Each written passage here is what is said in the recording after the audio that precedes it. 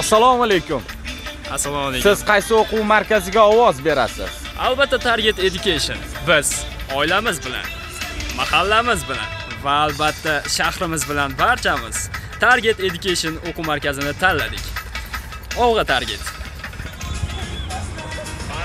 Assalomu alaykum. Siz qaysi o'quv markaziga ovoz berasiz? Men dugonalarim bilan Target Educationga boramiz va Target Educationga ovoz beramiz. Assalomu alaykum. Assalomu alaykum. Judayam qiziq hamkasblarimizdan javob olish biz uchun. Blogerlar uchun qaysi o'quv markazini afzal deb bilasizlar? Blogerlar tak. Bilamizki blogerlar uchun chet tili juda ham muhim. Rus tili ingliz tili fransuz tili nemis tillari. Shu sababli man target educationni maslahat beraman siz uchun qaysi o'quv markazi eng yaxshi va unga ovoz berasiz?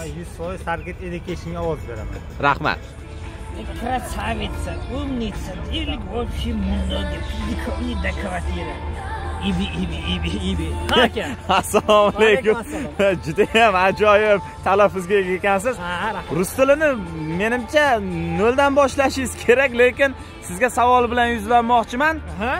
Qaysi o'quv markaziga ovoz berasiz Endi men bitta to'rtta joyga bordim, bo'lmadi. Endi bitta juram bo'lgandida o'rtog'im. Normalni gapiryapti. Target education tanlayman. Target. Target. Murodingga yet. E o'zi sanni bormi bet? E o'rtoqlaringga ham yet.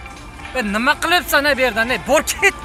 Uzr uzr yurtimizda 65% inson Target Education o'quv markazini tanladi. Siz ham ovozlar jangida ishtirok eting.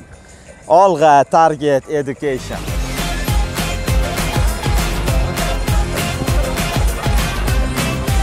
Garanglar bu kolan reklamasi tur yo'q bo'lay